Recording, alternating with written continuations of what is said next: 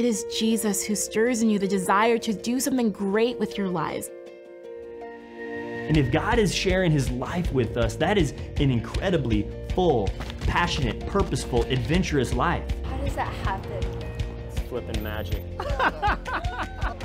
My eyes were open and I could see. And I said, Jesus, you know, I want to live for you. I want to give everything for you. Being a Christian means seeking Christ in your suffering.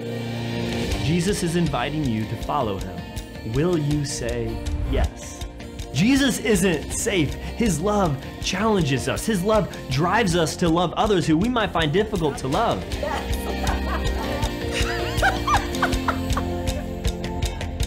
You are not alone.